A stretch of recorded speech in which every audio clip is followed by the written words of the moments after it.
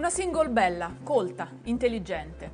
Ha un lavoro che le piace, è sempre in contatto con la sua famiglia di origine che la ama molto, insomma una donna dal comportamento irreprensibile, serena, senza apparenti problemi, che improvvisamente però sparisce nel nulla, insieme a una scatola di francobolli.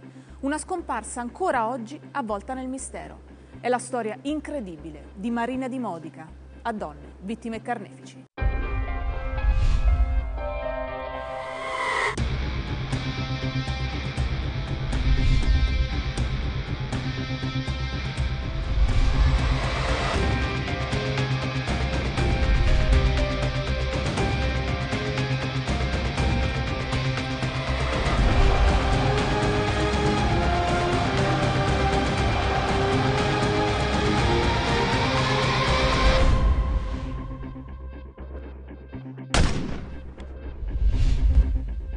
Caso che vi raccontiamo questa sera è un vero e proprio giallo, perché è di difficile soluzione, soprattutto perché prima di essere risolto passano davvero moltissimi anni.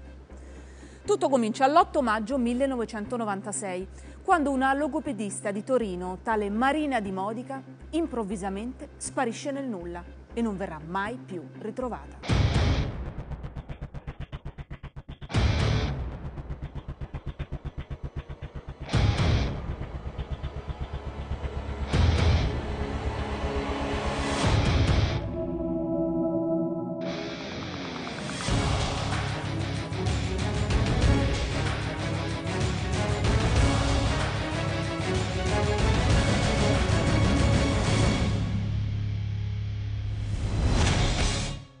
Marina è una donna precisa, meticolosa, puntuale, non arriva mai tardi al lavoro.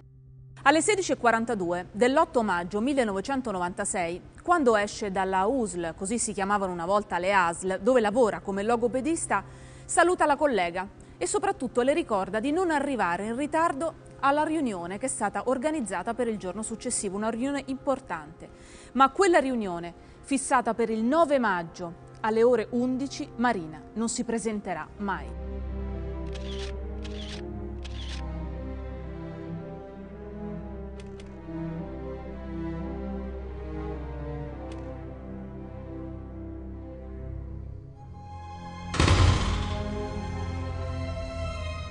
Quando scompare Marina Di Modica è una logopedista di 39 anni, single, molto legata al, al proprio lavoro. Di lei si perdono le, le tracce alle 11 del mattino del, del, giorno successivo, il 9 maggio, perché avrebbe dovuto presentarsi ad una importante riunione di lavoro e invece non, non, questo non accade. Le colleghe iniziano a preoccuparsi. Una di loro, Paola Guglielmino, decide di telefonare al padre di Marina per informarlo dell'assenza della figlia sul posto di lavoro. Ma no, è uscita alla solita ora. È molto precisa negli orari, mi sembra strano questo. La prima preoccupazione del padre è che sia accaduto un incidente domestico. Telefona ad Emilia Sola, sua futura nuora, per recuperare una copia delle chiavi di casa di Marina. Abbiamo sempre quel mazzo di chiavi doppione della casa di Marina?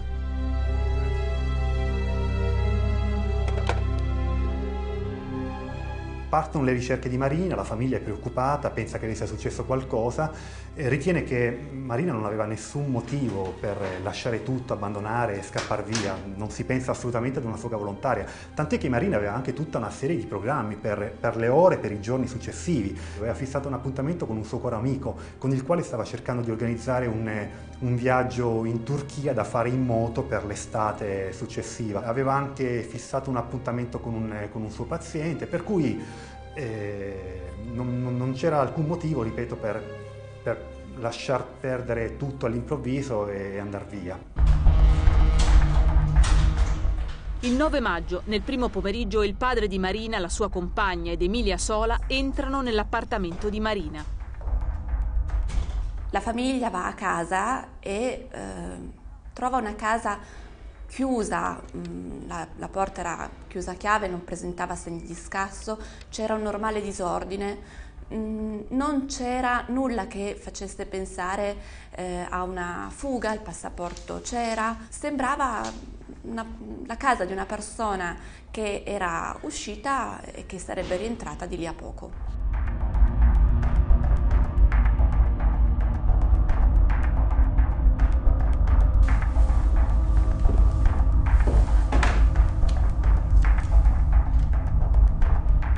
Alla sera Marina aveva un altro appuntamento con degli amici. Questi amici decidono di recarsi ugualmente all'appuntamento, ma anche a questo appuntamento Marina non si presenta. Da qui nasce subito eh, l'idea che Marina sia eh, scomparsa. Niente? Niente. Il giorno dopo il padre denuncia ufficialmente la scomparsa della figlia. Il 12 maggio gli amici di Marina si mettono quindi alla ricerca della sua auto, una Y10 Amaranto.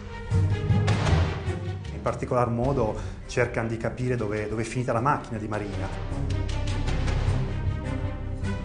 La macchina viene ritrovata nei pressi dell'ospedale mauriziano, ma della donna non c'è, non c'è assolutamente traccia. È Giovanni, intorno alle 21.30, a trovare l'auto di Marina parcheggiata nei pressi dell'ospedale mauriziano. Non ci sono segni di scasso e all'interno dell'abitacolo tutto sembra in ordine. Non c'è niente di più angosciante della sparizione di un familiare, di un parente o di un amico. Mille domande cominciano a tormentare la mente degli amici, appunto, dei familiari. L'idea di non sapere esattamente che cosa sia successo diventa un'ossessione, un tarlo. Grazie a quel tarlo e grazie alla caparbietà, alla forza di volontà dei familiari degli avvocati dei familiari, che questo caso, seppure dopo tanti anni, verrà risolto.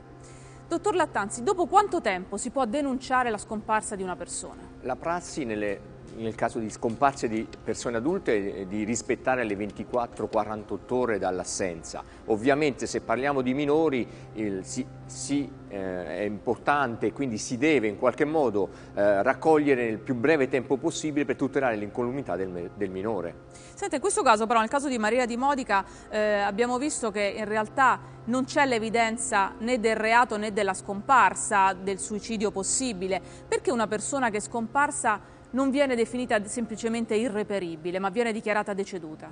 Sì, ehm, dichiarare una persona eh, deceduta è previsto dall'articolo 58 del nostro codice civile, però devono trascorrere almeno dieci anni dalla dichiarazione di assenza di questa persona. Quindi dopo questo periodo necessariamente una persona viene definita sì, deceduta può essere, può essere richiesto la, la, la, morte presunta trascorsi dieci anni dall'assenza della persona. Quindi mai prima. Senta, che cosa fanno gli investigatori quando si sporge denuncia di scomparsa? Quali sono le prime cose che vengono fatte? Sono tantissime le investigazioni e le raccolte delle informazioni da parte degli investigatori. Cosa più importante, grazie a un nuovo strumento proprio che è stato inserito pochi mesi fa, nel novembre del 2012, che ha istituito la figura del commissario straordinario sulle persone scomparse, ma cosa più importante che ha permesso a qualsiasi persona, anche un conoscente, di poter denunciare la scomparsa di una persona fino a, um, a, qualche mese fa solo i parenti potevano denunciare la scomparsa e altro dato fondamentale è l'istituzione di un software specifico che viene definito RISC che permette appunto di inserire tutti i dati della persona scomparsa e che malauguratamente possono in qualche modo essere correlati con i cadaveri sconosciuti. Quindi c'è un, eh, un, archivio diciamo, dei dati relativi ai cadaveri, alle persone scomparse che vengono confrontati? Sì, in tempo quasi reale vengono correlati per escludere purtroppo già un omicidio o una morte della persona. Certamente, infatti tra le piste seguite anche nel caso di Marina di Modica ci sono le ipotesi dell'allontanamento volontario e del suicidio. In questo caso specifico però, lo vedremo tra poco, queste due ipotesi vengono scartate, ci sono molti elementi che le escludono, anche se resta una domanda. Che fine ha fatto Marina e soprattutto che cosa è successo la sera dell'8 maggio 1996.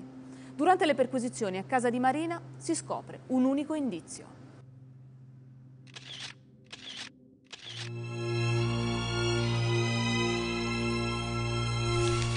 In via della Rocca, nell'appartamento di Marina, eh, i familiari recuperano una, un'agenda nera, è l'agenda di lavoro di, di Marina di Modica. Il fratello di Marina, Marco, eh, sfoglia, comincia a sfogliare quell'agenda e eh, scopre una particolare molto importante. Eh, in corrispondenza dell'8 maggio, giorno della scomparsa di Marina, in particolare alle ore 18, c'è un appunto segnato su quell'agenda. Cena Paolo per francobolli e questo è l'appunto riportato sull'agenda di Marina. Pronto? Sì, ciao, sono Marco. Dal fratello di Bianca Tovo, una loro amica, Marco viene a sapere che il nome completo di quell'uomo è Paolo Stroppiana e che lavora alla Bolaffi. Ah, Paolo, Stro- Paolo Stroppiana, un tuo amico. Ha il numero per caso? L'appunto sull'agenda è fondamentale perché è la vera pista, è un indizio fondamentale. Si cerca quindi subito di capire chi sia questo Paolo. Paolo Stroppiana non negherà mai di essere lui il Paolo, però nega di aver avuto un incontro. Marco di Modica, dopo aver recuperato il numero di telefono di Paolo Stroppiana, lo chiama, chiedendogli se ha notizie maggiori sugli spostamenti di Marina.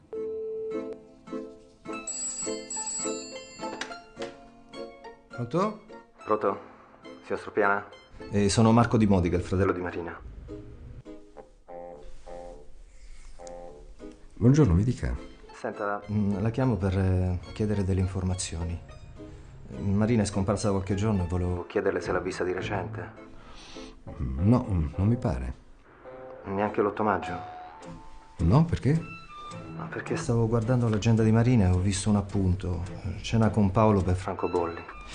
Eh, no, io l'8 maggio non ho visto Marina. Ah, sì, ricordo che aveva dei francobolli. Dovevamo vederci per valutarli, ma ah, non avevamo fissato nessun incontro. Ne è sicuro? Sì, non ho visto sua sorella mercoledì sera.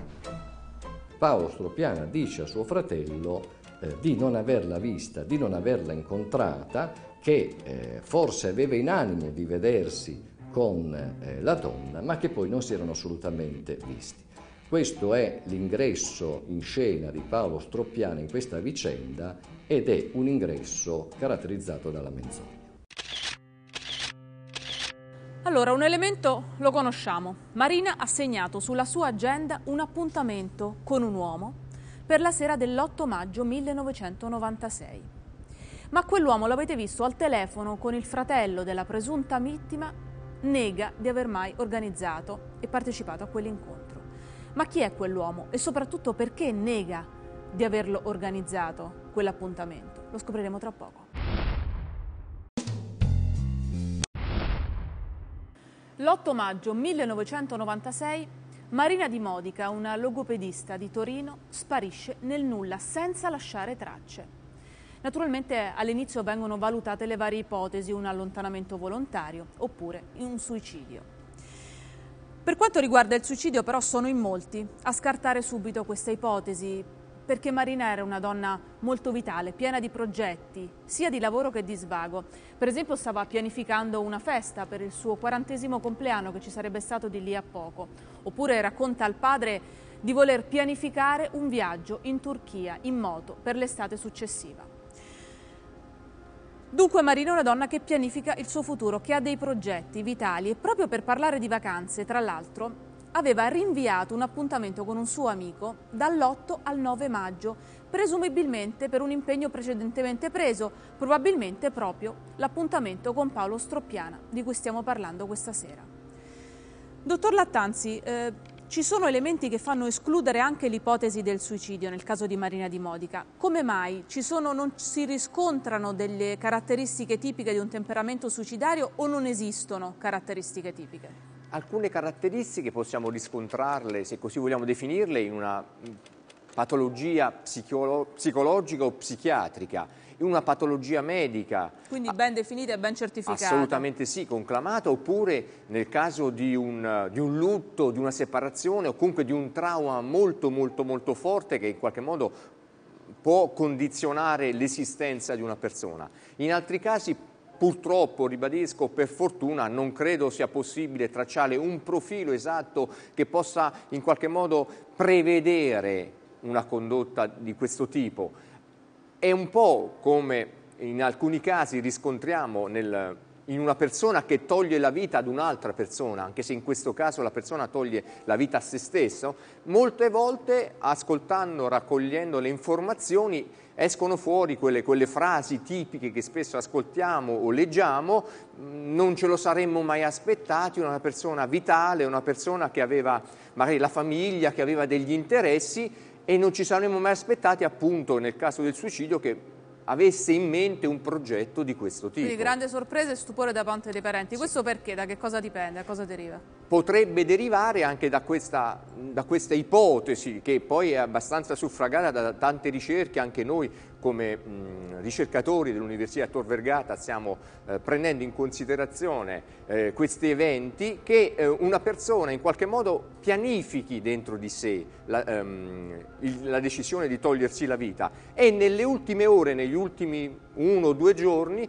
questa persona è come se riprendesse tranquillamente la propria esistenza e apparentemente non ehm, desse nessun segnale in questo senso. A proposito di segnali, il fatto di non aver ritrovato per esempio un bigliettino, un messaggio di saluti agli amici e ai parenti, anche questo ha contribuito a far escludere la pista del suicidio, nel caso di Marina di Modica naturalmente? Eh, nel, nel, caso specifico, anche in altri casi, eh, possiamo non trovare un bigliettino d'addio, una sorta di ehm, la, lascito ehm, di, di, di, della motivazione piuttosto che del perché eh, quest, questa persona mh, avesse deciso in qualche modo di agire un comportamento di questo tipo. Diciamo che ehm, anche l'analisi della, della, grafia di questi biglietti mh, di addio in qualche modo mh, suffragano quello che abbiamo precedentemente detto, ovvero che ehm, troviamo dei segnali di liberazione, dei segnali di calma, dei segnali di libertà che eh, non ci saremmo mai aspettati nel, forse in, un, una scrittura lasciata qualche ora prima, qualche minuto prima, il giorno prima. Quello che è certo però è che Marina potrebbe anche essersi voluta allontanare volontariamente. Anche in questo caso però la tesi viene scartata perché poco credibile. Come mai, dottor Lattanzi? Perché non ha dei comportamenti tipici di chi si vuole allontanare? Nel caso specifico di Marina possiamo escluderlo perché lei non, non, avrebbe prelevato nulla dalla propria abitazione utile per poi scomparire in qualche modo e poter eh, viaggiare e quant'altro. In altri casi, anche eh, se eh, la persona non preleva nulla dalla propria abitazione, queste persone sono in qualche modo sono fuori da, dal controllo dei parenti e degli amici, sono veramente proprio come se volessero scomparire Quindi succede che uno sparisce senza prelevare nulla, né documenti, né chiavi, nulla? Può succedere sì, può succedere che la persona all'improvviso decida ok, cambio vita, vado da un'altra parte, non voglio più nessun eh, collegamento con la vita precedente. E letteralmente sparisco. Cerchiamo allora di capire meglio attraverso le poche certezze, avete sentito sono davvero poche, di questo caso che cosa succede. Noi sappiamo che Marina di Modica ha segnato sulla sua agenda per l'8 maggio 1996 un incontro con tale Paolo Stroppiana, che fa il filatelico presso la Bolaffi, che è un'azienda molto nota che si occupa di francobolli. Proprio i francobolli sono un elemento fondamentale per la risoluzione di questo caso, perché noi sappiamo che di Marina si sono perse le tracce. A casa sua però non manca assolutamente nulla, tranne una scatola di francobolli.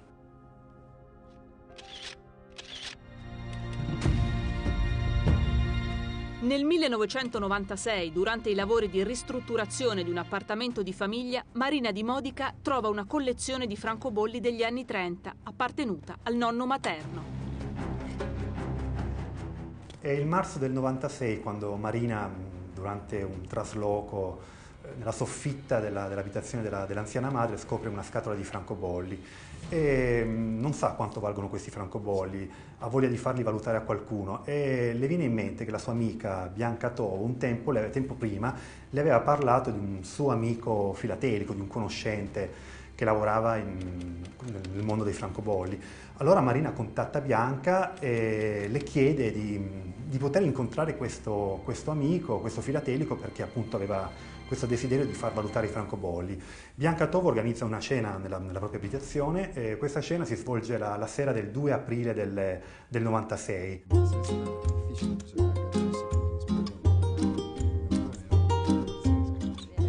Ecco, è arrivata anche Marina. Buonasera. Marina, posso presentarti Paolo? È lui l'esperto che lavora alla Bolaffi. Ah, finalmente. Piacere. Buonasera. Si ritrovano a cena e eh, scatta subito una, una, simpatia reciproca, un uh, feeling, tanto è vero che Paolo Stroppiana inizia poi a telefonare, la chiamerà sette volte.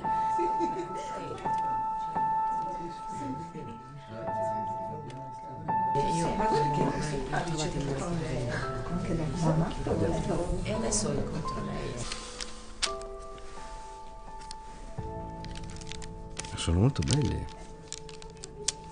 Degli anni 30.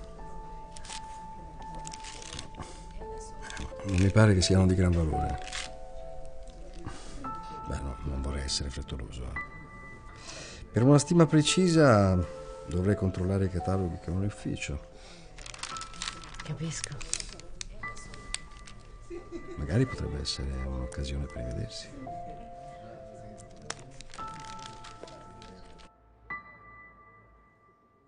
Nel corso di questa serata, eh, come disse Stroppiana, eh, lui eh, visionò i francobolli, capì che non avevano un particolare valore, ma eh, lui usa questa espressione eh, che fece la corte in modo molto blando, ecco, corteggiai blandamente, disse la ragazza, perché vide che eh, da parte della donna vi era un certo interesse e in realtà eh, qui eh, non sbagliava.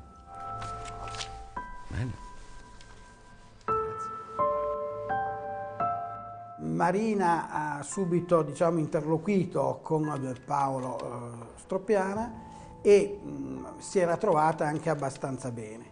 Ha commentato questo, questa persona con la signora Marina Ferrero, eh, compagna del papà di Marina, nonché attuale moglie del professore Gaetano Di Modica, indicando, usando un aggettivo particolare per Paolo Stroppiana, l'ha definito stranocchio. Paolo Stroppiana è un personaggio particolare, una personalità complessa. Ha un passato decisamente fuori dal comune, perché fin da giovanissimo, a 15 anni, si contraddistingue per alcuni episodi di violenza e appena diciottenne entra nei fronti versivi dell'estrema destra e eh, avrà un ruolo fondamentale come collaboratore nel processo per la strage di Bologna. C'è anche un altro mistero legato al passato e alla vita di Paolo Stroppiana, un mistero eh, che riporta ad una ex collega di lavoro di Paolo, Camilla Bini, ex dipendente Bolaffi che sparisce misteriosamente il, durante il mese di agosto del 1989.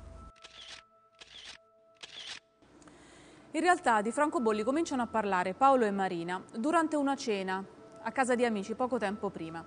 È proprio in quell'occasione che i due decidono di risentirsi, proprio per entrare un po' meglio nei dettagli tecnici della questione. In realtà eh, Paolo Stroppiana, sarà lo stesso lui a confessarlo, era anche molto attratto da questa donna, quindi in realtà non aveva intenzione probabilmente solo di parlare degli aspetti tecnici dei francobolli. Dottoressa Carlini, eh, è lo stesso appunto a confessare questa attrazione per Marina, che cosa ricorda Stroppiana di quella serata, come la descrive? Sì, eh, ricorda di questa cena avvenuta a casa di un'amica in comune, del fatto che appunto Marina le avesse fatto visionare questa scatola di francobolli e del fatto che loro si erano impegnati a risentirsi successivamente per telefono proprio per, eh, affinché lui le comunicasse il valore di questi francobolli e le modalità di rivenderli all'asta. Però è anche vero che poi confessa, cioè racconta anche di un interesse, di averla un po' corteggiata in quella serata proprio perché aveva saputo che non era impegnata e quindi di aver eh, approfittato di questa situazione. Quindi era stato colpito da questa donna e lei invece? Ma allo stesso Abbiamo modo, delle notizie su come sì. aveva vissuto lei questa situazione? Sì, Marina racconta a molti di questo rinvenimento di questa scatola dei francobolli. E a due amiche nel particolare racconta anche di Paolo Stroppiana come di una persona che eh, le interessava, che poteva essere il tipo di persona a cui lei poteva essere interessata e entrambe hanno la percezione che questa eh, valutazione dei francobolli sia un po' un pretesto insomma, per avere la possibilità di un ulteriore incontro.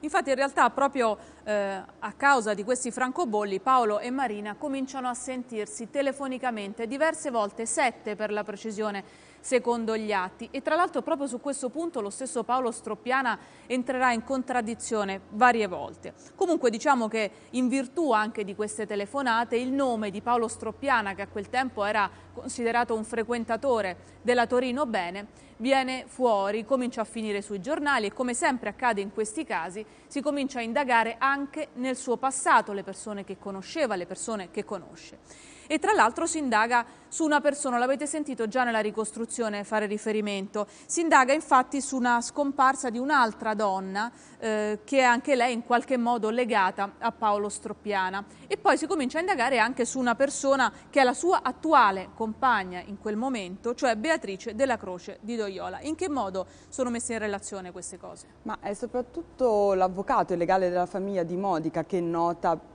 per primo diciamo così, eh, le, queste affinità tra questi due casi.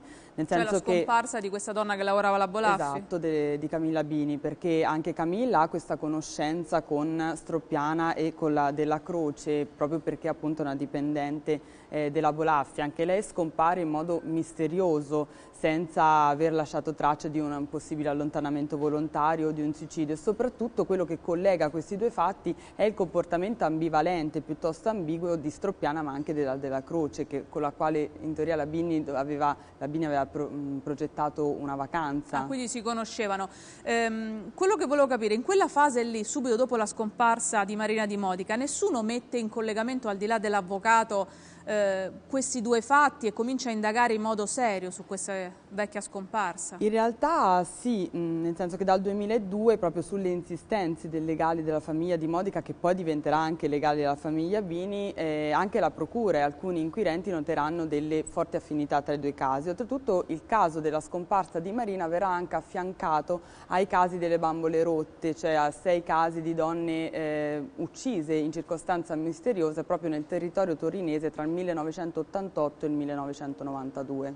Senta, in realtà questa è sicuramente eh, un'ombra nel passato di Paolo Stroppiana. Ce n'è un'altra però che in qualche modo entra all'atere eh, in quello che poi vedremo il processo per la morte di Marina Di Modica, cioè la partecipazione di Paolo Stroppiana alla vita politica molto dura che c'era stata negli anni 70. In un libro dei NAR, per esempio, si parla eh, di lui come facente parte di un gruppo di estrema destra. In che modo Stroppiana era legato all'impegno politico dell'eversione di destra? Ma, mh, dobbiamo dire che Stroppiana partecipa come testimone pentito al processo per la strage di Bologna, partecipa poi come testimone al processo per la strage di Piazza Fontana e alcuni lo accostano appunto all'attivismo di estrema destra, altri addirittura ipotizzano una sua appartenenza ai, ai servizi segreti, in particolare al SISDE.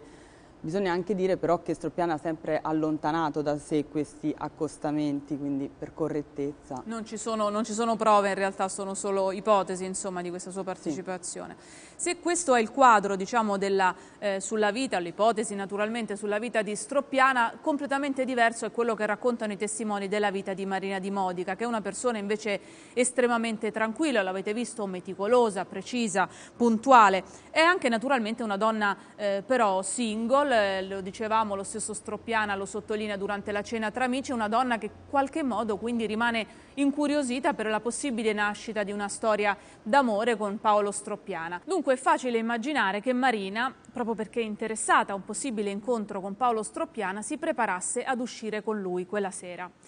Quello che è importante capire è che cosa succede nelle ore immediatamente precedenti alla sua scomparsa. Lo scopriremo tra poco.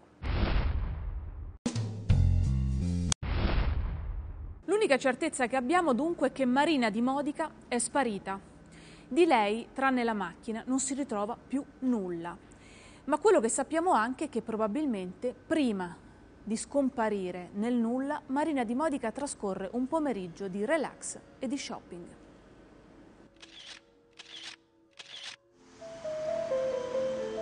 Alle 16.42 dell'8 maggio Marina timbra per uscire dall'USL di via Chiabrera dove lavora e si dirige a fare shopping. Alle 17.10 Marina compra un paio di scarpe.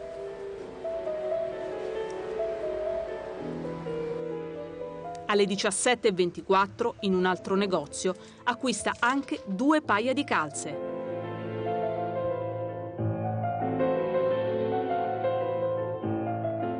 Marina si reca, si reca in casa, raggiunge l'appartamento in via della Rocca, eh, si trucca, eh, si cambia, indossa le scarpe mm, e le calze acquistate poco prima, prende la scatola di, di francobolli, che non verrà più ritrovate in, quelle, in quell'appartamento lì e, ed esce. Da allora non, non si sa più nulla, di lei si perdono le tracce.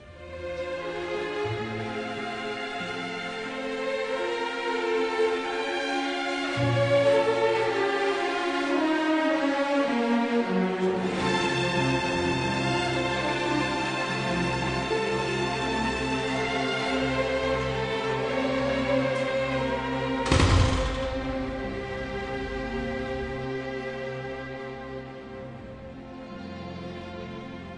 casa era lasciata in quel disordine tipico di chi la lascia in fretta per dire vabbè tanto poi quando torno riassetto.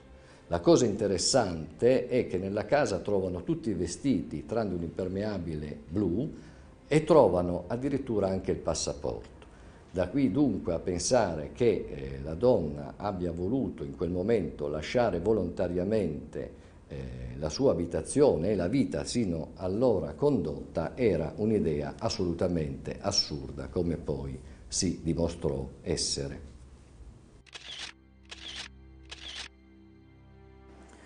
Dunque abbiamo visto, Maria di Modica esce dal lavoro, compra delle calze, delle scarpe, torna a casa, si cambia, poi prende la macchina per uscire e da quel momento il buio più assoluto.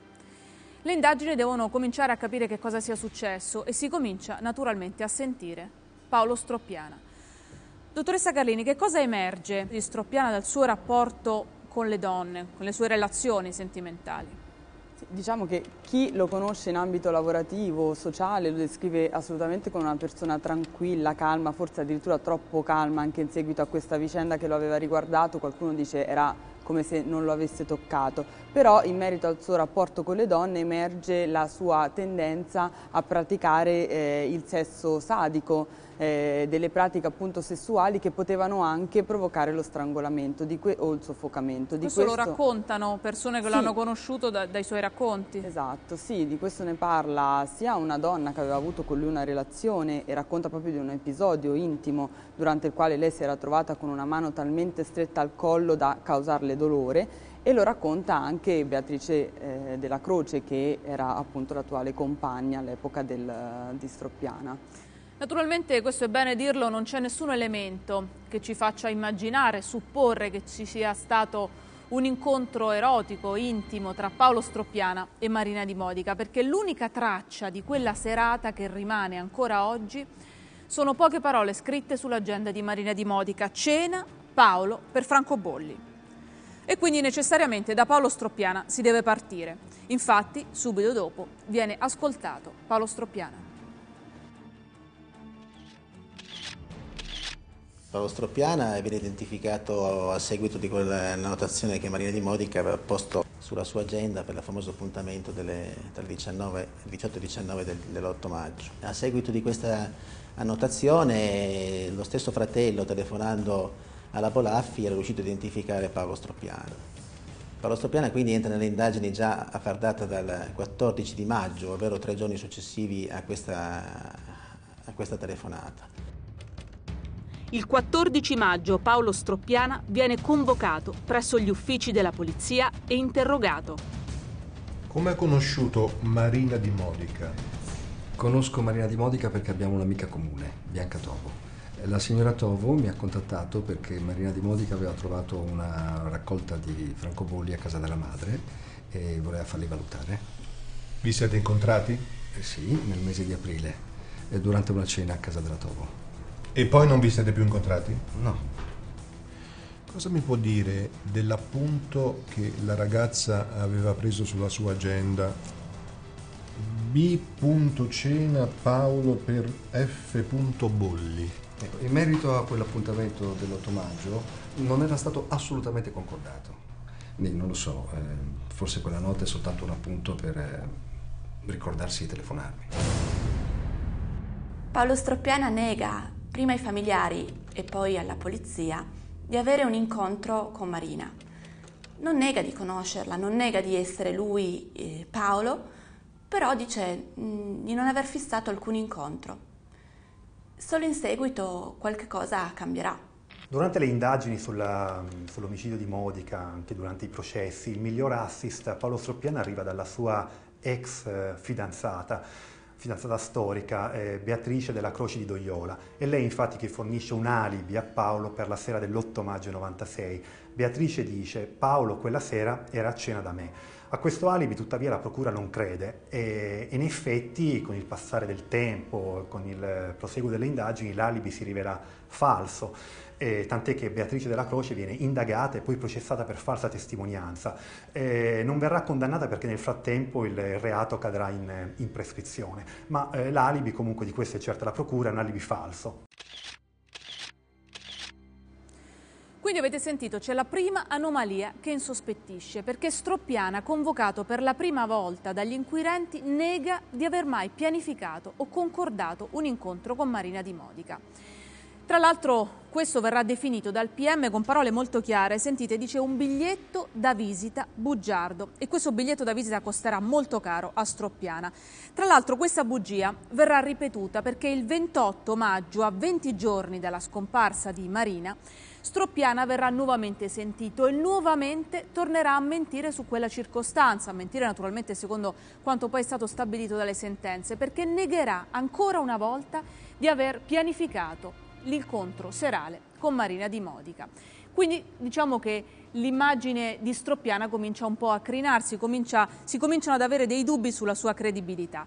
Dottoressa Carlini, possiamo configurare un tipo di mentitore professionista nei confronti di Stroppiana, uno che dice bugie in modo seriale? Ma non possiamo delinearne un tratto di personalità perché purtroppo non sono state condotte delle indagini cliniche in merito proprio alla struttura di personalità dello Stroppiana eh, però il PM lo definisce proprio come un, uh, un, imputato che indossa la maschera della menzogna ancora prima di diventare imputato, perché effettivamente ci sono dei passaggi che poi non vengono confermati, cioè a partire da questo incontro che lui prima nega, poi invece ammette essere stato progettato ma disdetto per un fortissimo mal di schiena di cui le tracce però non sono, gli accertamenti non sono così limpidi e chiari e poi si contraddice anche sulle telefonate, sul numero di telefonate intercorse tra lui e Marina, quindi ci sono diversi aspetti. Quindi su, vari, su vari piani lui in realtà mente, non soltanto sull'incontro, su vari no, aspetti. su vari aspetti.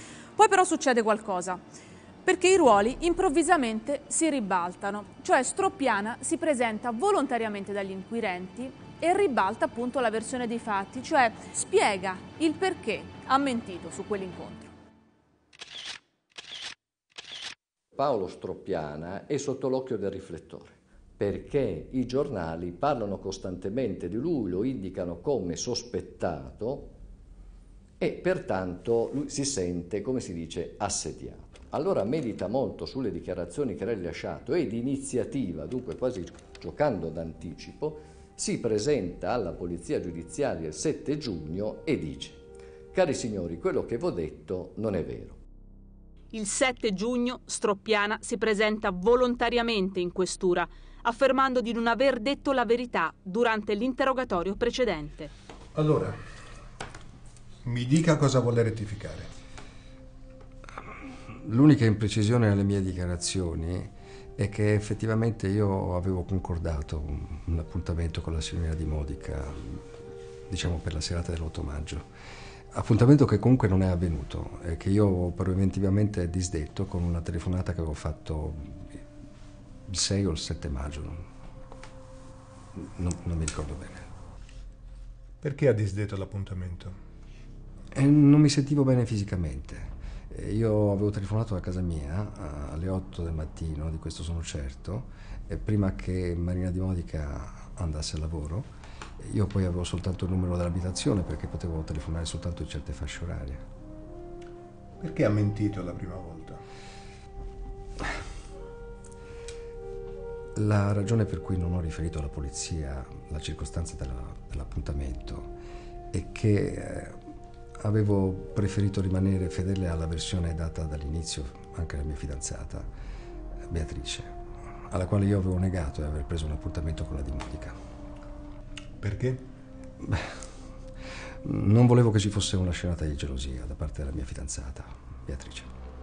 Paolo Stroppiana praticamente da quando è entrato nelle indagini ha sempre mentito su ogni sua dichiarazione in merito ai fatti occorsi l'8 di maggio, anche perché addirittura si era creato un alibi del mal di schiena, dichiarando che lui aveva revocato l'appuntamento perché soffriva di una cetalgia molto forte, cosa che in effetti non era poi così vera perché comunque le consulenze anche fatte in sede processuale hanno dimostrato che non ci poteva essere questo tipo di patologia. Dal 96 fino ai primi anni 2000, quindi per 5-6 anni, Paolo Stroppiana eh, è semplicemente un testimone, un teste, una persona informata sui fatti e non c'è alcuna iscrizione nel registro degli indagati. Eh, l'iscrizione eh, avviene soltanto nel momento in cui il fascicolo passa nelle mani di un eh, nuovo magistrato, il pubblico ministero Onelio Dodero, e lui a indagare per la prima volta a Stroppiana con l'accusa di eh, omicidio. Per anni eh, si è indagato sino a quando si è eh, riusciti a ottenere i tabulati del traffico telefonico. Che cosa è stato accertato? Che Stroppiana non chiamò soltanto due o tre volte Marina di Modica, ma sette volte. La prima volta la chiama per, in due occasioni il 9 di aprile poi la richiamerà il 15 di aprile, poi la richiamerà ancora il 22 di aprile, poi la richiamerà ancora il 5 maggio senza avere risposta e la richiama il 6 maggio. Come vedete non esiste alcuna telefonata tra il 29 di eh, aprile e il 4 di maggio, periodo di tempo in cui Stroppiana dice io ho fissato l'appuntamento con Marina di Modica per vederci l'8 maggio e quindi l'ho disdetto il 6 maggio. Dall'esame di tabulati mancava la telefonata con la quale Stroppiana diceva io ho fissato l'appuntamento. Nel processo di secondo grado l'accusa affronta le abitudini sessuali dell'imputato perché una delle ipotesi che eh, vengono fatte è che Marina e Paolo possano avere avuto un incontro sessuale che sia sfociato in tragedia. Vengono quindi interrogate le ex fidanzate del Paolo Stroppiana. Qualcuna racconta che ogni tanto era capitato che durante un rapporto Paolo le avesse stretto il collo, proprio nel, all'apice del rapporto. Qualcuna racconta dell'uso di manette, Sarà soprattutto il PG eh, Vittorio Corso durante la requisitoria nel processo di secondo grado a insistere particolarmente sulle abitudini sessuali violente di Paolo Stroppiana. Durante la sua requisitoria infatti il PG dirà apertamente che Paolo Stroppiana potrebbe aver ucciso eh, Marina Di Modica durante un rapporto sessuale, proprio mh, strangolandola, eh, magari non volendolo, però potrebbe insomma, aver perso il controllo, avere un tantino esagerato e quindi insomma, Marina potrebbe essere morta proprio in quel modo durante un rapporto sessuale. Dunque Stroppiana dà la sua versione dei fatti, spiega di aver mentito per paura della gelosia della sua compagna di allora, tale Beatrice. In realtà Beatrice fa di tutto per salvarlo, gli fornisce addirittura un alibi, per la serata naturalmente, la famigerata serata dell'8 maggio del 96. Il giallo dunque va avanti, sembra davvero senza soluzione perché le, le indagini proseguono ma senza trovare degli elementi fondamentali. Sembra uno di quei casi destinato a finire nel dimenticatoio senza una vera soluzione. Però c'è un però perché i familiari di Marina non si arrendono. Vogliono assolutamente scoprire che cosa sia accaduto, non si danno pace e per molti anni l'avvocato della famiglia di Modica, Stefano Castrale, che poi peraltro verrà incaricato anche dalla famiglia di Camilla Bini di occuparsi proprio della scomparsa della ragazza, insiste perché le indagini continuino. Inutilmente però. Soltanto molti anni dopo si riesce a trovare una sponda nel PM Onelio Dodoro che si interessa a questo caso, siamo arrivati al 2002.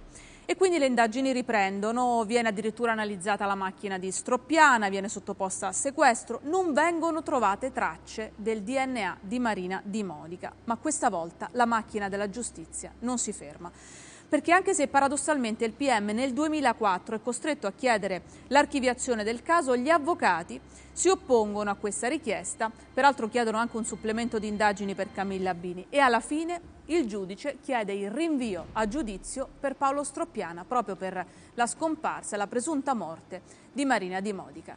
Avvocato Paglia, quando è possibile istruire un processo anche in mancanza del corpo della presunta vittima? In questo caso, se non sbaglio, non c'è anche l'evidenza della morte di Marina Di Modica. Beh, è certamente possibile, è certamente possibile, ad esempio, per fare diciamo, un caso di ordine generale, eh, qualora un soggetto abbia reso confessione. Quindi se eh, l'omicida effettivamente dichiara di aver commesso il fatto e queste dichiarazioni sono precise, sono dettagliate, sono, sono, puntuali, quindi trovano dei riscontri esterni, in questo caso è possibile dar corso alle indagini eh, celebrare il processo fin tanto a giungere la sentenza di condanna. Anche se non si ritrova il corpo. Nel caso certo. di Stroppiana però questo non si verifica perché lui nega qualsiasi cosa, anzi è, si proclama esatto, innocente. Esatto, non è questo, non è questo il caso di Stroppiana, eh, non confessa, si proclama innocente e in questo caso tutto prende le mosse dal ritrovamento di, una, di un'agenda, un'agenda nella quale era appunto eh, fissato l'appuntamento tra egli stesso e Marina Di Monica.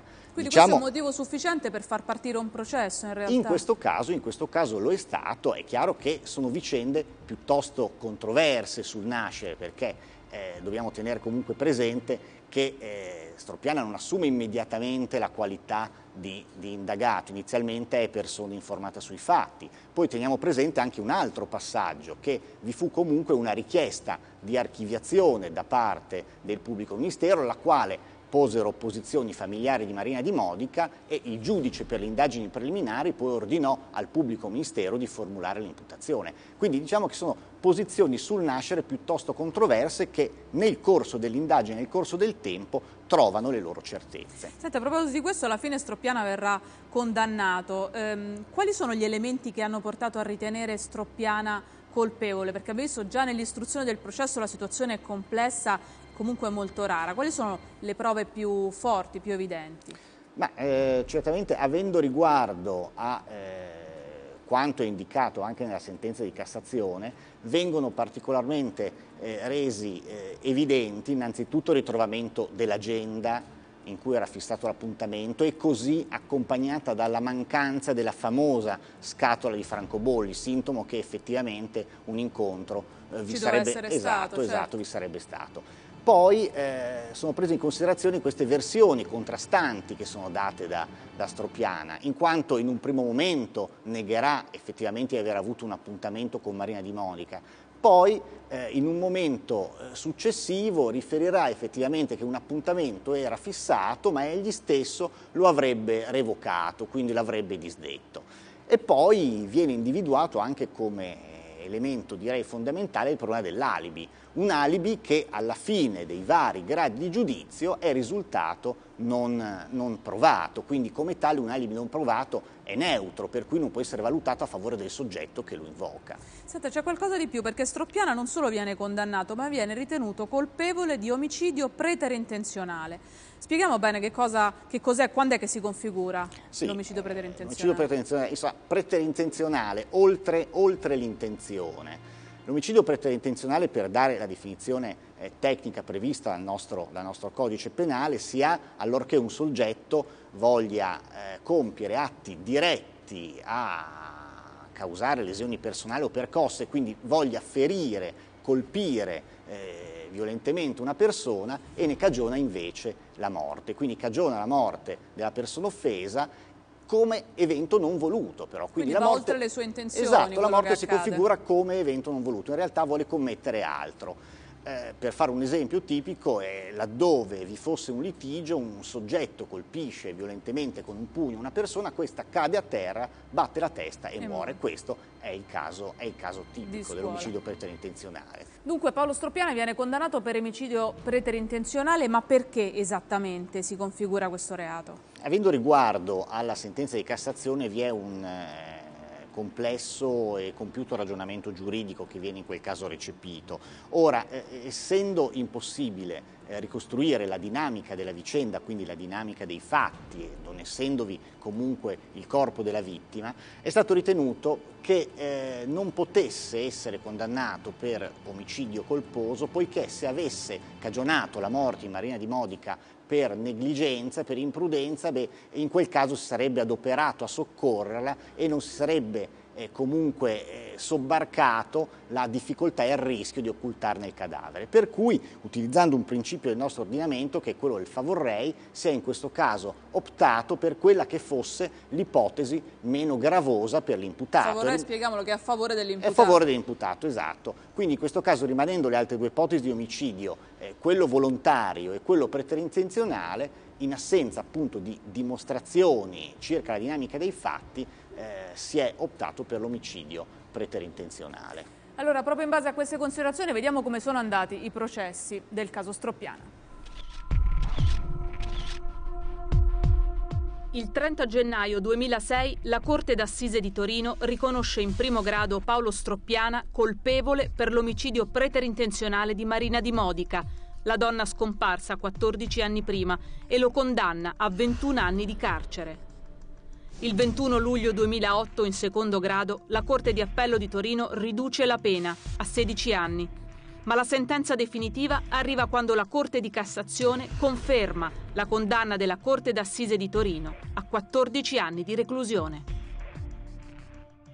In primo grado Stroppiana viene condannato a 21 anni di carcere. Scenderà la pena prima a 16 anni e poi a 14 anni di carcere.